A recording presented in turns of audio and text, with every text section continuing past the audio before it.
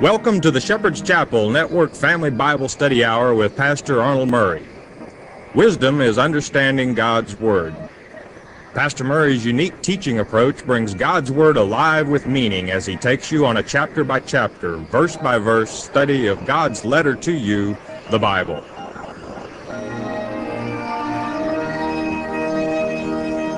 And now here is Pastor Arnold Murray. Day to you. God bless you. Say, welcome to the Shepherd's Chapel. Welcome to this family Bible study hour back in our Father's Word, book of Jeremiah. You know, we've just finished the 13th chapter where God told Jeremiah, you take an old girdle and you take it down, you put it in a, hide it in a rock. And what it was is God wanted to wear his children around him, to be proud of them, to feel good but he said, when pull that old marred, filthy, uh, moth-eaten girdle out to mildewed, that's what my children feel like around me. They're just no good. They won't love me. They won't worship me. I don't want that girdle around me. And when, when his children, a good analogy of what it's like when you displease our Father. You know, he does have feelings. And we're going to find out in this 14th chapter, th- this will be intercession for Judah. Our Father, we, we can detect part of his, some of his feelings in this particular chapter. Having said that, a word of wisdom from our Father, Jeremiah chapter 14, verse 1. A word of wisdom from our Father, and it reads, The word of the Lord that came to Jeremiah concerning the drought. Now, this drought of the end times is not for water. It's for the latter rain, all right, but it's for truth. The deception and false teaching, um, rapture doctrines, things contrary to the Word of God are abound. Our Father's not happy with it. Verse 2 Judah mourneth, um, and the gates thereof languish. They are black unto the ground and the cry of Jerusalem is gone up. Uh, they're starving for truth, and there's just none in them. And, and so it is that uh, when the latter rain doesn't come, that is to say, God's word, chapter by chapter, verse by verse, people are lost. And their nobles have sent their little ones to the waters, that's to say, their slaves, their, their workers, sent them down to get water they came to the pits and found no water. They returned with their vessels empty. They were ashamed and confounded and covered their heads. Uh, they, they were dumb as to what was going on. But when they went down to draw fresh water, the ground was parched and cracked. Why? Because Christ is the living water. And when you leave Christ out, the true Christ out of the equation, and bring in the false Christ and his rapture doctrine, you got a lot of hurt going on. That's a drought that God feels bad about. Uh, that's only one of the things the false one teaches. Verse 4 Because the ground is chapped, it's cracked. For there was no rain in the earth, and the plowmen, the farmers, were ashamed. They covered their heads. Nothing could produce. Now, when, when um, you, our Heavenly Father uses agriculture as an analogy in many things. And when you take that viewpoint, a little bit of horticulture and so forth, you know what happens when a plant doesn't have water. It dies on the vine. And spiritually speaking, if you cut a soul, one of God's children, away from the true Word of God, I'm talking about the absolute truth from His Word, they are listless, they have no purpose, they're wish-wash, they, they look for something to believe in, and they'll grab the first thing that comes along that seems logical, though it's illogical. How, how strange it is when a nation is void of truth, how listless the people, the government, everything tends to be. Verse 5. Yea, the hind also calved in the field. The, cattle, they dropped their calves and forsook it because there was no grass. There was no need. It died of starvation. If, if you know, there's got to be good pasture from God's word to feed upon lushly, lagoons that just overflow your mind with truth and blessings from Almighty God. When you listen to some ratchet jaw that never quite cracks the book open, you're in a heap of hurt, friend. You're playing church. Verse 6. And the wild ass did stand in the high places. Um, they snuffed up the wind like dragons, that's to say, like jackals. Their eyes did fail. They were glazed over because of the drought, uh, because there was no grass. They were starving. And, you know, this is how it is written. If you think this doesn't hold true even in the New Testament, Romans chapter 11, God sent the spirit of slumber, it's recorded in English.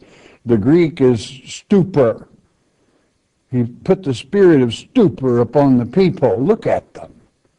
They are in a stupor when they do not have the truth.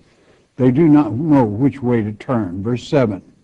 O Lord, though our iniquities testify against us, do thou it for thy name's sake. For our backslidings are many. We have sinned against thee. In other words, God, you promised that you wouldn't destroy us just for your name's sake. We're going to keep on sinning, but, but do it for your name's sake. That's the wrong attitude, my friend. That's not going to get it done with our Father. You're, you, you must be responsible for your actions. You must face the fact and stay focused on your own self. And you must work with what you have to work with. The knowledge that you have, you must, you must polish it, exercise it through the Word of God, whereby you become brighter each day in the glory of the living God to whereby you're not starved, and you must do it on your own. That's the only way God will love you. You can't just ask Him for His sake to forgive you. You've got to repent and deserve it. Eight. Oh, the hope of Israel, the Savior thereof in time of trouble. Why shouldest thou be as a stranger in the land? And as a wayfaring man that turneth away to tarry for a night. You know, that would not be a good way to talk to our Father. Call him a wayfaring man. You don't have time for us. You're off messing around somewhere, and and you're you're um, uh, you just um, are basically gone from us. You've ignored us. How quick do you think you see, you know, you might say, well, people surely wouldn't do that. Well, what if they turn to another Christ, another ratchet jaw teaching? They're talking with, with what they believe is truth, although they're talking to a false Christ, a false Savior. They're not going to give the time of the day to the truth. And they're going to think every moment that they're doing exactly right. Don't shake their boat. Don't wake them up. But to accuse God of tarrying when it's your fault is not a very wise thing to do. Verse 9.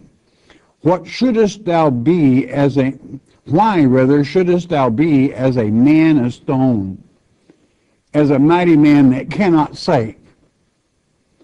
Yet thou, O Lord, art in the midst of us, and we are called by thy name. Leave us not. Just because we're called by your name, just because we call ourselves Christians, you save us. We deserve it. Oh, I wouldn't count on that.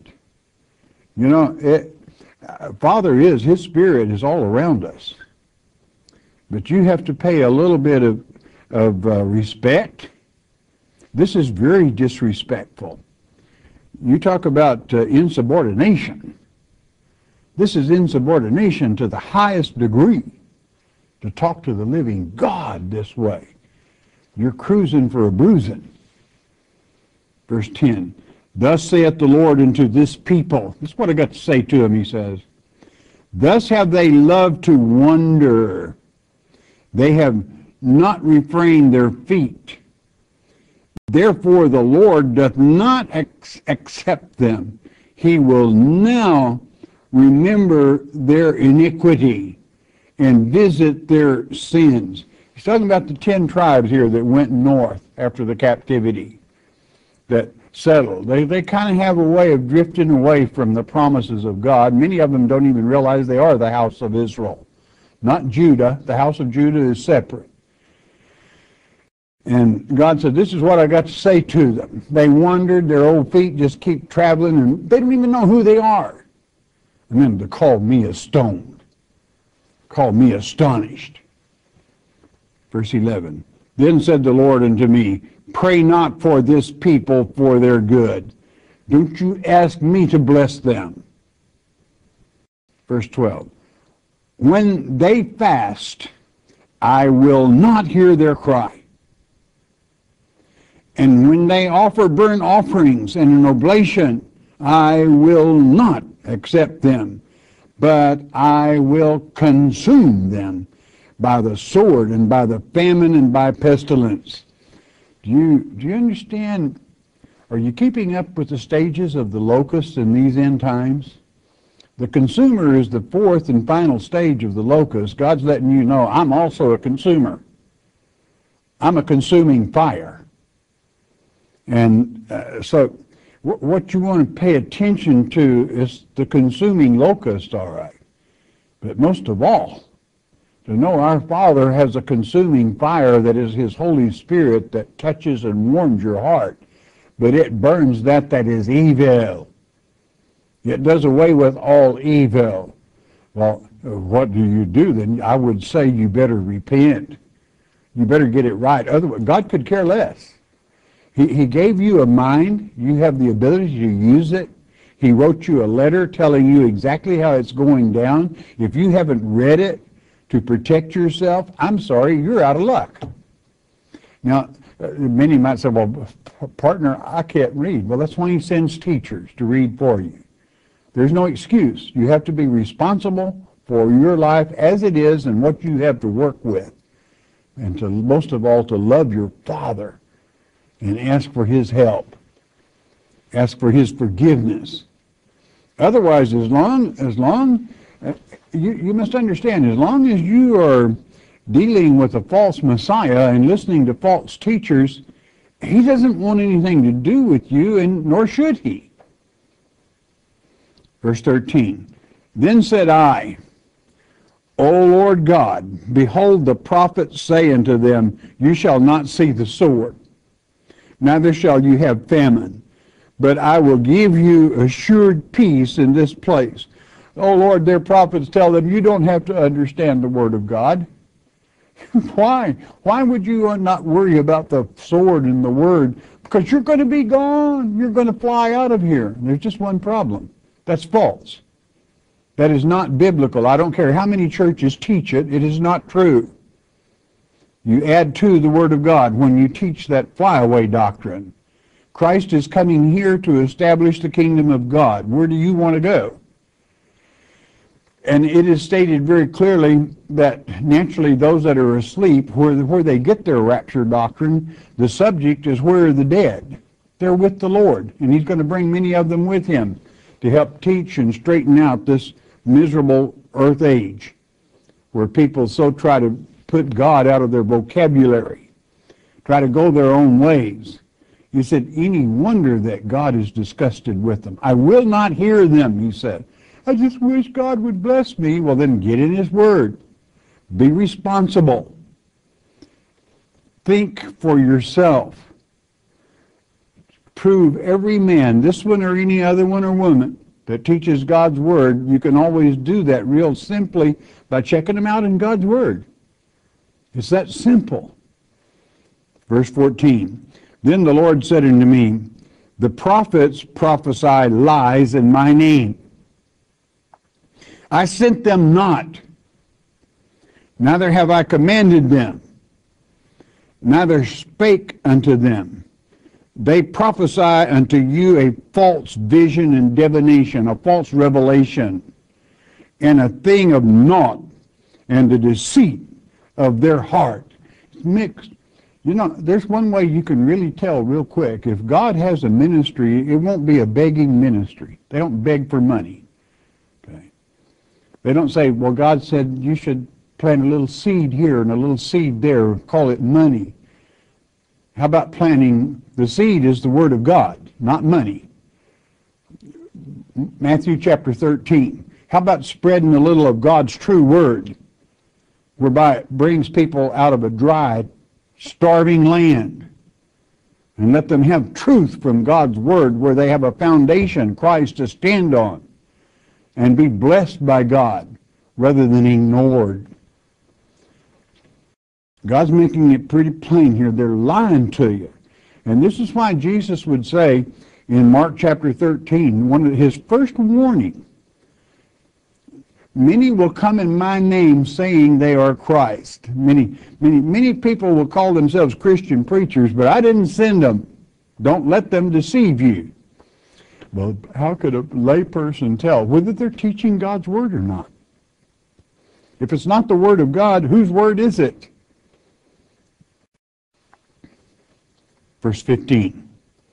Therefore, thus saith the Lord concerning the prophets that prophesy in my name and I sent them not.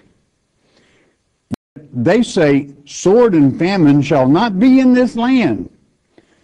By sword and famine shall those prophets be consumed. God is a consuming fire. You know, judgment begins at the pulpit. You ever take on the, uh, the line of teaching God's word, you better know judgment begins with you. Therefore, you had better do your homework well, and you better know what you're talking about. It had better be God's word you're teaching, not some yo-yos. And, well, how, how, again, it's so simple a child can understand, well, how can I tell whether they're teaching God's word or not? There's only one word that will lift you, fill you, and mainly bring blessings from God, that's His Word in obeying Him and following Him with love and understanding and striving to exercise your faith and exercise your knowledge whereby you're in the Word. That's to say, His Word. Verse 16. And the people to whom they prophesy shall be cast out in the streets of Jerusalem because of the famine and the sword, and they shall have none to bury them. Then their wives, nor their sons, nor their daughters, for I will pour their wickedness upon them. What we're talking about here is deception and people that are spiritually dead. Have you ever walked into a place that's supposed to be teaching God's Word and you can feel it the moment you step in? It's spiritually dead. There's no truth there. There's no blessings of God there. And you know that if Christ himself approached at that door, they probably wouldn't let him in. How fantastic it is, uh, to, that is to say, to teach the truth. They would probably call the truth sacrilegious. they'd call you a crackpot if you teach God's word chapter by chapter and verse by verse. In so doing, they call God a crackpot. That's not healthy for them. The sword will be after them. Incidentally, do you know what this two-edged sword is that cuts both ways? Have you ever read the book of Revelation? Have you ever heard what God has to say about it? You can read it in Revelation chapter 1, verses 15 and 16. Christ's tongue is a two-edged sword. That is the, his word. And the word of God does cut both ways. And so it is that truth will always, um, it may cut a little, but it'll heal over perfect. Because truth binds. Truth raises up. Truth brings the blessings of God. And when you have the blessings of God, it doesn't matter what the world says. Verse 17. Therefore, thou shalt say this word unto them. This is what you're going to pass out to them. Let mine eyes run down with tears night and day, and let them not cease, for the virgin daughter of my people is broken with a great breach, with a very grievous blow. Now, Christ is coming back to this earth at the second advent. He's coming to take a virgin bride. As we noticed in the close of the last chapter, he said there in verse 26 of chapter 13, Therefore will I discover thy skirts upon thy face, that thy shame may appear. I have seen mine, I have seen thine adulteries and thy neighings, the lewdness of thy whoredoms, and thine abominations on the hills uh, and the fields. Woe unto thee, O Jerusalem! Wilt thou not be made clean? When shall it once be? Well, it's going to be at the second advent when God cleans house. He drove out the money changers before. It's going to be a lot more severe this time. He's not coming back as a babe to be crucified, but as, as the King of kings and Lord of lords with a rod of iron. Going to put things in order. So naturally, if Christ returns and expects to find a virgin bride, this is why he says in Mark 13, Woe to you that are with child when I return. He's not talking about a mother carrying a child in her womb. He's talking about you that are spiritually impregnated in your mind and spirit by the false teaching of the false Christ. And he's expecting a virgin bride, and you've been in the sack with Satan. Do you think how how well do you how quick do you think he wants to take you in that great wedding? I'll tell you what, you missed it. You, you have to do with the first Messiah that comes along, which you were warned of in Mark 13. You're not going to make the wedding. This is why, as it is written in the scripture, many people run up to Christ and say, Oh, Jesus, Jesus, we've, in our church, we've healed in your name. He said, You get out of my sight. I never knew you. Wrong Jesus, friend. There's two of them. Has your church taught you that? Keen to continue. If I go forth into the field, then behold the slain with the sword. If I enter into the city, then behold them that are sick with famine. Yea, both the prophet and the priest go about into a land that they know not, speaking things that they don't know. They don't know what they're talking about. Man, they never get into the manuscripts. They never get into the Word of God.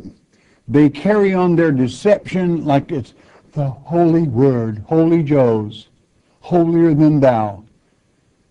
Why, why then can we not have God's Word taught with understanding where your family can be blessed and where you can take part in that great wedding that's coming when Christ returns? our gathering back to him. You don't, you don't want to miss that, my friend. You don't want to be deceived. I, I really don't think anyone likes to be taken advantage of and deceived. And that's what Satan is very good at, is deception, lies, misleading. You know, you might say, well, uh, how would Satan do that? Well, Christ gave, he always gives us the example in, in Mark chapter 4 and then Matthew 4, he was taken into the wilderness to be tested. Why? Tempted. To show you how to, to withstand temptation. Well, how did Satan tempt him? With Scripture, with the Word of God. That's the way Satan operates, a false prophet. And there are many false ones that follow him, false prophets, false preachers teaching a doctrine that doesn't exist in God's Word. God doesn't like it. He said, do not even pray for those people. My friend, I don't care who you are. I don't care what group you associate with. Check them out in the Word of God. Well, I, I can take the preacher's word for it. No, you can't. Because a lot of them are false. You've got to do it yourself. Team the people will say, Hast thou utterly rejected Judah, the house of Judah? Hath thy soul loathed Zion? Why hast thou smitten us? And there is no healing for us. We look for peace, and there is no good. And for the time of healing, and behold, trouble, trouble, trouble, trouble. Satan promises peace, peace, peace, and there will be no peace. He comes in prosperously and peacefully. That's why so many people will be deceived. Why will they be deceived? They haven't had the latter rain, that is to say, the truth from God's Word to strengthen them, to give them common sense, knowledge so simple a child can understand from the Word of God. That, you know, he, Christ made it very clear in Matthew 24, in Mark, in, in Mark 13, in Luke 21, and many places in John. The real Christ does not return to this earth until after the false one does. That's why he said, if they say he's in the field, don't you dare go, or you'll be deceived. So, and for the elect's sake, as it's written in Mark 13, he shortened the time even, or no, no flesh would be saved. That's how convincing the, the liars are. So you have to be on guard and you have to be alert how precious it is to have truth, to know. You know, do you think our Father cries? He said he did. Tears run down. He loves his children. The controversy between he and Satan, and Satan has his way with his kids over and over and over. And naturally that makes our Father sad. It would make any father sad. And so it is that Satan keeps winning and winning and winning. But the time is coming, and what God is telling here in this 19th verse, there's going to be trouble, trouble, trouble, and losing, losing, losing. You don't want to lose your salvation, my friend. God will never leave you. He will never forsake you. But a lot of people can sure leave him through ignorance or listening to false pastors and teachers. Again, check them out. It doesn't, it doesn't cost you anything, and it isn't difficult to check out in the Word of God. The Word of God is quite simple, quite uh, actually. If you if you know how the beginning, how it was in the beginning, you will pretty well know how the end. It's like opening an old feed sack. If you get the thread going right, it opens real easy. Well, so does God's Word, but you got to get a start in the beginning to have it open to the end and know what happened in the garden. Know how the false seed got here, as Jesus explains in Matthew 13 and, and John chapter 8, verse 44. God loves his children. He does want them to hear him. Next verse, please. Verse 20. We acknowledge, O Lord, our wickedness and the iniquity of our fathers, for we have sinned against thee this is the people's word of the elect today. We know that. We know that the people sin against God. That gives you no excuse to. And and um, those that won't align with it, you don't even want to pray for them. The only thing you could pray is that they wake up. 21. Do not abhor us. This is the elect. This is you speaking. And we ask our Father that. Do not abhor us for thy name's sake. Do not disgrace the throne of thy glory. Remember, break not thy covenant with us. That covenant is, well, well just what was it? Well, do you remember it? It's something I don't want you to forget. Um, and, and I've mentioned it several times how, how difficult is it to be pleasing to God? What was that covenant? Chapter 7, verse 23. I'm going to repeat it for you. But this thing command I them, saying, Obey my voice, and I will be your God. And you shall be my people, and walk ye in all the ways that I have commanded you. That's the commands, the covenant that it may be well with you. That's all that's required. That is so simple to follow God's covenant. Honor that covenant. Well, there, there, but you might say, well, for his name's sake, no. For you obeying his word, for you loving him. See, there's a lot of conditions in that. It's real simple. But he said, if you'll follow my covenant, that's this word, I'll bless you. You leave this out of the equation, the equation of your life, and you're going to be in a heap, a heap of hurt because you're without the Word of God. If you're out without the Word of God and the Word is God, you're without God. Well, what God are you with then? Uh, there's only one other strong contender, and that's Satan himself, the prince of lies, the king of lies, the dunghill. You don't want to go there. You want to be with our Father. Verse 22 to continue. And there are among the vanities of the Gentiles that can cause rain. Are there any among the vanities of the Gentiles that can cause rain? You, well, we could dance. We could put on a show. Or can the heavens give showers? Not unless God says so. Art not thou he, O Lord God? Therefore we will wait upon thee, not Satan, not some false preacher, not some um, uh, money changer that wants seed money, but to wait on God Himself through His Word, exercising your mind in that Word. For Thou hast made all these things. God made them. Uh, the Gentiles, they're little off gods. They can dance and they can pray and so forth. It is Almighty God, the Creator, that brings rain. What is that rain? It ceases the drought. The rain we're talking about here is the latter rain, which is the true word of God. Only God can alleviate the ignorance and bring in that rain that is the latter rain and truth of the end times, whereby you do not starve, your farm does not starve, your job does not starve, your family does not starve. You are blessed by the living God. That's so simple.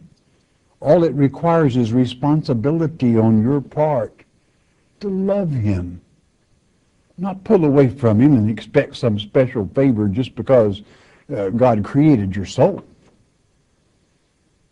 To expect favors from him because you honor his covenant. Chapter 7, verse 23. Don't ever forget it. It's real simple to please God. If you want his blessings, or hey, if you want to be out there in the cold, have a good trip.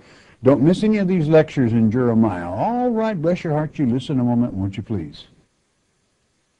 The Mark of the Beast on CD is our free introductory offer to you. What is the Mark of the Beast? Many false teachers would have you believe it will be a tattoo on your forehead or a computer chip implanted under your skin. It is getting late in the game. You need to know what the mark of the beast is. As it's written in Revelation chapter 13 verse 8, many will be deceived. There is no need for you to be deceived. Christ said in Mark 13, 23, Behold, I have foretold you all things. Jesus indeed told us how not to be deceived, and Pastor Arnold Murray takes you on a step-by-step study of God's Word concerning this critical subject, the mark of the beast. The telephone call is free. The CD is free. We don't even ask for the shipping and handling. It is free as well. All you need to do is call 800-643-4645 to request your one-time, one-per-household copy of The Mark of the Beast. You may also request your free CD by mailing your request to Shepherd's Chapel, Post Office Box 416, Gravette, Arkansas 72736. Don't be deceived by Satan. And there we are back again. Let's have the 800 number, please. 1-800-643-4645. That number is good from Puerto Rico throughout the U.S., Alaska, Hawaii, all over Canada. If the Spirit moves, you got a question, share it. Won't you do that? Please never ask a question about a particular reverend or denomination or organization. We don't judge people. We have a judge, it's our Father. He doesn't need our help. He can handle that job all by himself. You do have the right to spiritually discern. You should. It's a gift from God to know what you should hear, what you should listen to. Hopefully, it's going to be the Word of God. and be blessed by him. Those of you that listen by shortwave around the world, it's always a pleasure hearing from you, and your announcer at the end of the hour will give you our mailing address. It's always a pleasure. Now, you got a prayer request, you don't need a number or an address. Why? Father knows what you're thinking even. You don't have to say it out loud. You know, he created you different than anyone else. Your DNA is different.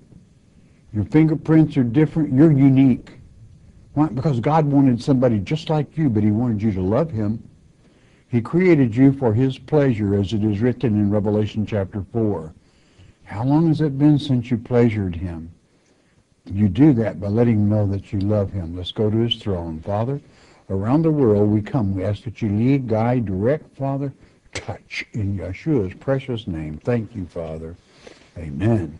All right, question time. We're going to go with Patty from Kentucky. I know that Christ sits at the right hand of God. Who sits at the left? And please document. Nobody. Okay. And who is Christ? Isaiah chapter 7, verse 14 A virgin shall conceive, and it will have a son, and you will call him Emmanuel, being translated as God with us. There are dimensions in the flesh, and there are dimensions in the spirit. Uh, one person, this is why God would say, Let us create man in our image. Nobody shares the throne with the living God.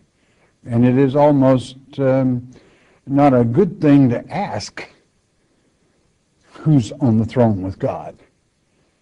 Only He is able to fill that throne. That's where Satan got in trouble, was trying to sit on the mercy seat. Nobody sits on the mercy seat but our Father and the triune Godhead, including the Spirit of God, which is to say the Holy Spirit. There's only one God.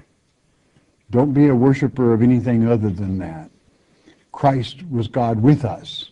Carol from Arkansas. Where in the Bible does it talk about God being the evergreen or the fir tree? Uh, Hosea chapter 14, verse 8. Hosea chapter 14, verse 8. It's kind of Hosea's prayer, the last verses are. And God makes that statement. I am a, as a great fir tree. It's evergreen. It never dies, the leaves in the wintertime. It's always, which his, he is eternal. And that is why that tree becomes symbolic in many people's minds of eternal life. They don't worship it. It's just a similitude as to God himself. Isaiah, uh, Hosea rather, chapter 14, verse 8, you'll find it. Uh, don't, you know, Babylon always tries to take something and rob the truth of God's word. Whether it be a flood, whether it be the tree, whether it be many things. Don't, don't let Satan take away the beauty of God's own creation. Uh, Diane from Nevada, are we supposed to worship the Trinity even though the Bible says a lot of times to worship but one God? So, as Christians, are we supposed to worship the Trinity? You only worship God? God is the Trinity. If you've seen the Son, you've seen the Father. St. John chapter 14. St. John chapter 14, I go to prepare a place for you in my Father's house. There are many mansions. Mano in the Greek, it means resting place, not some house not some fancy building. It means to find peace of mind through the Holy Spirit, where the Father and the Son both are in those dimensions, comes forth the Spirit of God that comforts, warms, uh, gives knowledge, gives leadership. There's only one. Gregory from Illinois, can I get some advice on anointing my wife and myself with oil? Well, yes, of course the oil, as it is written in James chapter 5, is the olive oil, and it is the oil of our people. You, are, you can go to any grocery store, basically, and buy virgin olive oil or pure olive oil, whichever. Pour a little in, use part of it to cook with. It's most healthy, one of the most healthy cooking oils there is.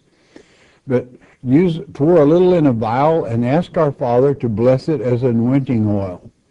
And then you put a little tab on your finger, touch the forehead uh, of the wife and yourself, and ask God's blessings upon you with the anointing and make the request for whatever it may be.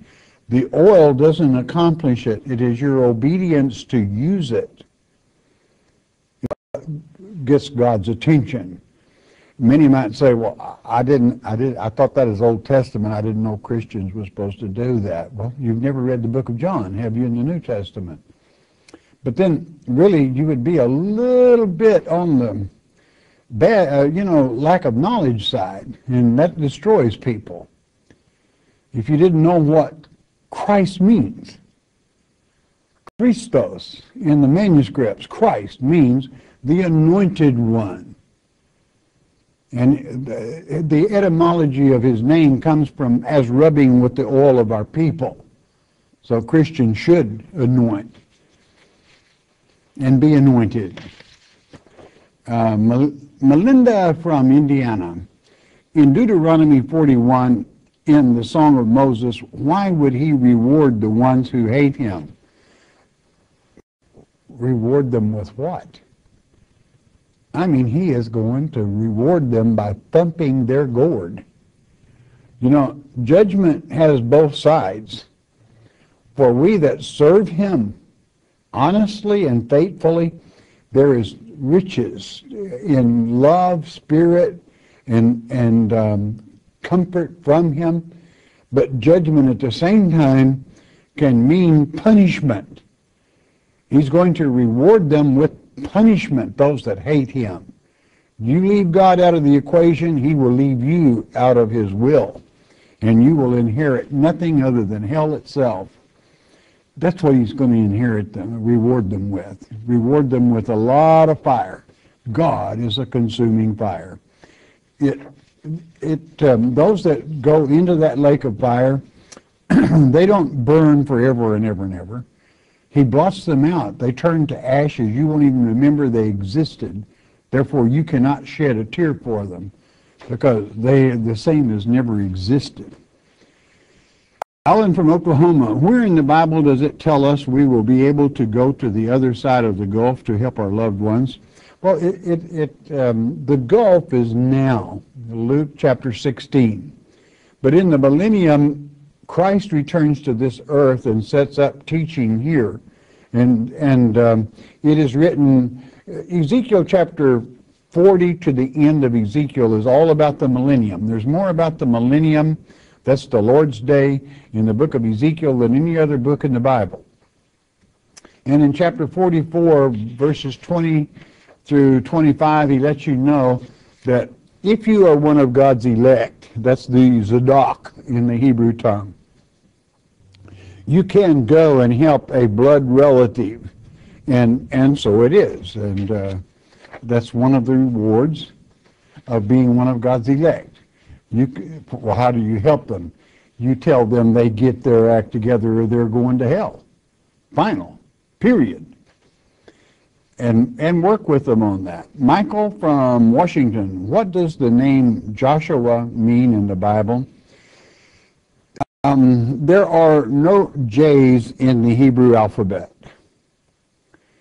Therefore, the correct spelling is Y A S H U A, Joshua, which it means Yahweh's Savior.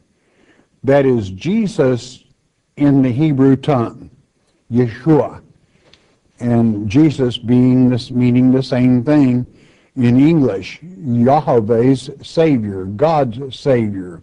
That is his job. Uh, Billy from Georgia, when was Satan sent back to heaven with the fallen angels for Michael to hold him there? Well, when was the last time he was reported really other than spiritually? It was in the wilderness with Christ. He was there. Where did Christ tell him to go? Behind me.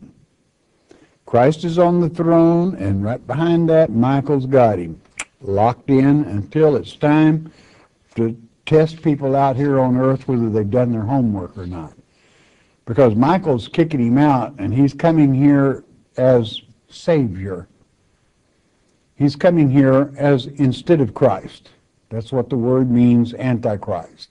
Instead of Christ. Claiming to be Christ. To rapture people away. And Paul makes it very clear in 2 Thessalonians chapter 2, don't you let my first letter deceive you about gathering back to Christ. It's not going to happen until after the son of perdition, Satan, stands in Jerusalem claiming to be God in the world trying to whore after him. It, God's word is very complete on this. It's whether you read it or not. I just quoted 2 Thessalonians chapter 2.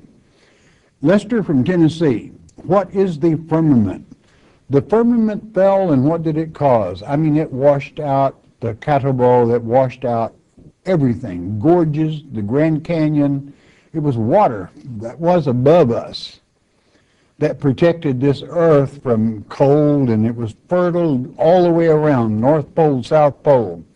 We have, we have found mammoths with flesh still on them with buttercups in their mouth in the tundra of Alaska. It was beautiful there.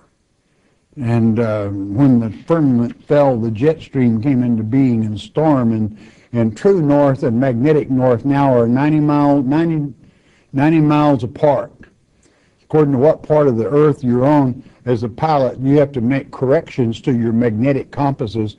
Either east is least and west is best. In other words, if west you add and east you subtract from your heading or you won't end up in the right place. Why? Because of the katabole. Teresa from Florida. In Revelation 21, I think, why does the Bible say there will be no more sea?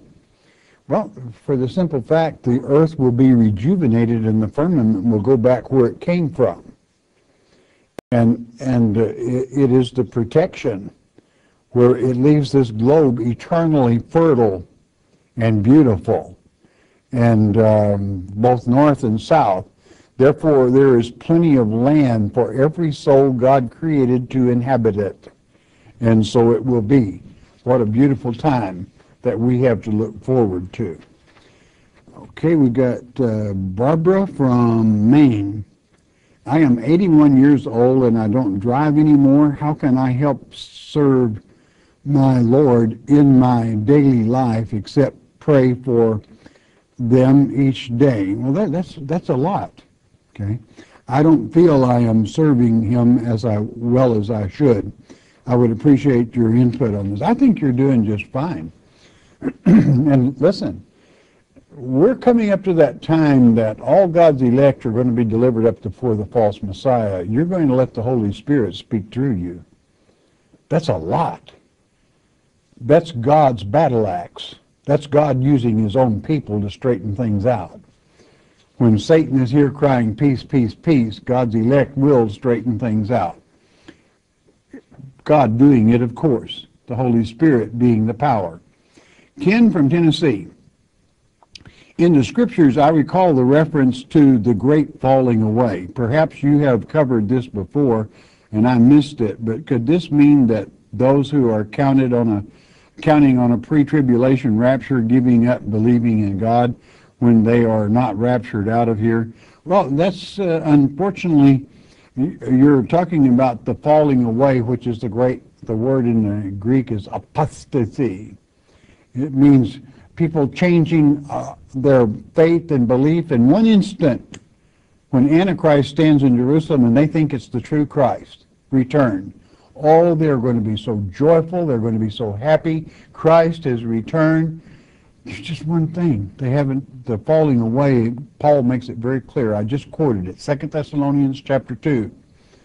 They're going to be, don't, don't get in their way. They'll be over rejoicing. The second advent has happened. There's just one problem. It's the wrong Jesus. It's instead of Christ. And many that haven't done their homework will worship Satan and still expect Christ to take them. What a shame. How embarrassed they will be. I feel sorry for them. Donnie from, where is Donnie from? Donnie is from Well, we'll just have to leave that part off. Um, my name is Donnie from, oh, from South Carolina. What should I do when all the churches here preach the rapture? Please help us. Also, where in the Bible can I find out about the divide gulf? I said, well, the gulf that divides is, you'll find it in Luke 16 between the parable of the rich man and Lazarus. Um, you're in church when you're in church with us. And if there's a group of you that study, start a home study and study yourself. Study the Word of God in truth and be blessed. Shepherd's Chapel Ministry was started in a home. And uh, it grew into what it is. So start your own. Well, what kind of paperwork do I need? It's called the Word of God. That's all the paperwork you need. Start it. I, I would hasten to say there are certain cities now that are so anti-God that you want to check city ordinances, but there's nothing wrong with discussing God's. Nobody's going to take that freedom away from us. I don't care what kind of ordinance they pass. People getting together and talking about the Word of God, but do know with eyes wide open. Always be wiser than the serpent, but as peaceful as a dove. And the dove protects their nest. They're wicked. Uh, Mark from Kansas. I have been studying with you for a while now, and I have a question in the Bible. What is the what is the devil's name? I sure don't want to. I sure don't want to like these names. Well, I'm sure you wouldn't. Probably uh, Revelation chapter 12, verse 6 and 7 gives you a list of his names. Revelation chapter 20, verses 2 and 3 give you a list of his names. In Daniel chapter 7, if you happen to have a strong uh, a um, companion Bible, it lists many of the names that Satan uses. He's a play actor. Do you know, do you know what the word play actor is in the Greek? It's hypocrite. Okay. It means somebody playing or pretending to be some, a role of something they're not. Well, that's what Satan is. He plays many roles. He wants to play the role of Christ. That's why he's called instead of Christ. You know, it, it, um, it is so simple to follow the true Christ and avoid the false. You'll, you'll do just fine. You spiritually, you, discernment will do that for you anyway. Robin from Alabama. I worry that I am not attending a church or that I am not sending my children every Sunday. I'm studying with Shepherd's Chapel every day at 5 a.m. via television. Um, we are a church. Our broadcasts are an extension of that, of the church. So when, when you are studying God's Word, that is church. That's what a church is supposed to do. A building that holds meetings that may call itself a church and it never gets around to teaching God's Word, it's not really a church. It's a gathering place. It's when God's Word is taught. That makes the difference. Richard from California. How do you spell Kenites, the descendants of Cain? K-E-N-I-T-E-S, Kenites. It, it um, in, in, the Hebrew tongue, the dialect is Kayan, is, is the father and Canaanites is the offspring thereof. Uh, you could you can find the word in many places. You can find it in First Chronicles chapter two, verse fifty-five. You know what the Kenites were doing then? Way way back in Chronicles, chapter one, verse fifty-five. They were uh, chapter two, First Chronicles chapter two, verse fifty-five. They were scribes for Judah, the very people that this book of Jeremiah is written to.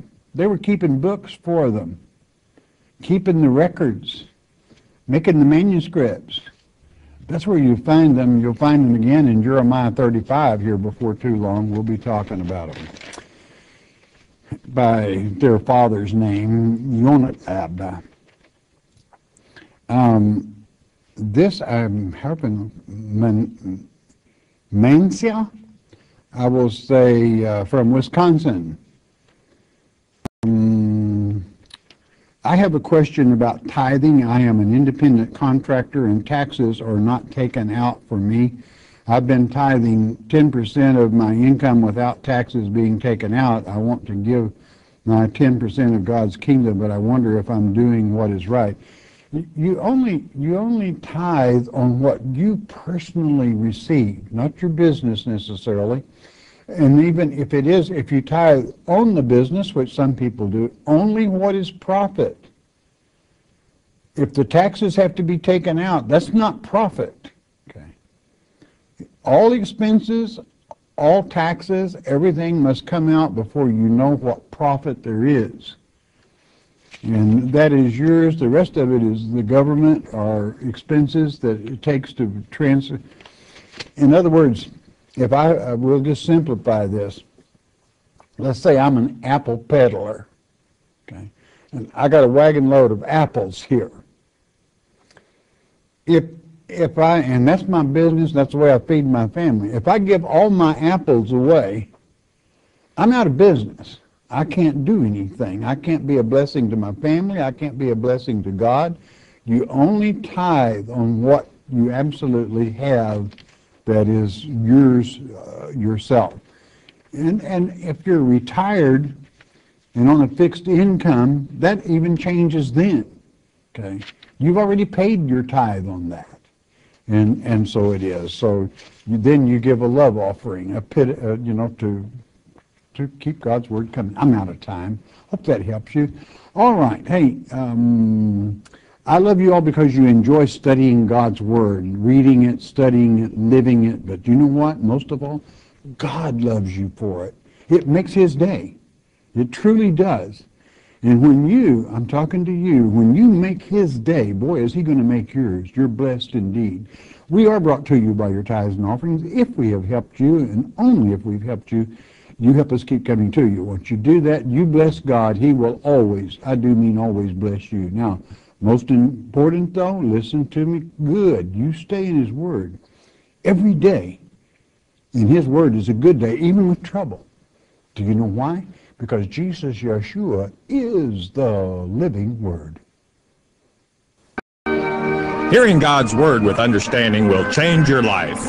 We hope you have enjoyed studying God's Word here on the Shepherd's Chapel Family Bible Study Hour with Pastor Arnold Murray. If you would like to receive more information concerning Shepherd's Chapel, you may request our free introductory offer. Our introductory offer contains the Mark of the Beast audio tape, our monthly newsletter with a written Bible study, a tape catalog, and a list of written reference works available through Shepherd's Chapel. To request our free introductory offer by telephone, call 800 643 4645 24 hours a day. You may also request our introductory offer by writing to Shepherd's Chapel, Post Office Box 416, Gravette, Arkansas 72736. Once again, that's Shepherd's Chapel, Post Office Box 416, Gravette, Arkansas 72736. We invite you to join us for the next in-depth Bible study each weekday at this same time. Thank you for watching today's program, and God bless you.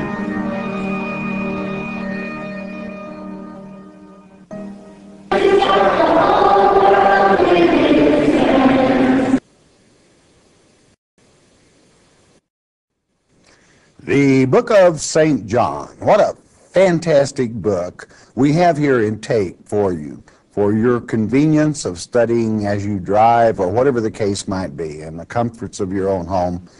St. John, the writer of Revelation as well as this great book of St. John. John taught in a way that he not only interpreted, translated the word, and, and interpreted, fully translated the names as well as other things that made this word, this book, so easy to understand, helping the very reader see Christ in his work as God, Savior of the world. This book of John giving you the identity of the Kenites, as well as those events that would transpire in the end generation. That's your generation, beloved.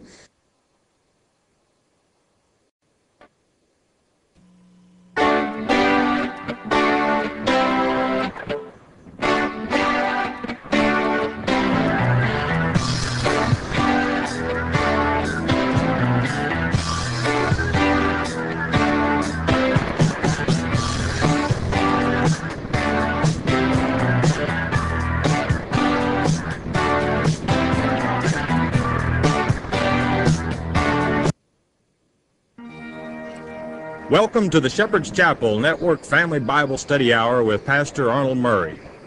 Wisdom is understanding God's Word. Pastor Murray's unique teaching approach brings God's Word alive with meaning as he takes you on a chapter by chapter, verse by verse study of God's letter to you, the Bible.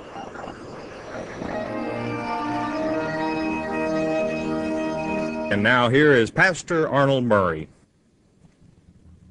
Good day to you. God bless you. Say, welcome to the Shepherd's Chapel. Welcome to this family Bible study hour. Ready to get into our Father's Word. And what are we studying? The gardens of God. Now, we have covered the first, second, the third. As a matter of fact, we stopped in the third. We're going to go to the fourth and the fifth in this lecture when we complete the third. If you will remember, I stated that um, gan in the Hebrew tongue is garden, and it simply means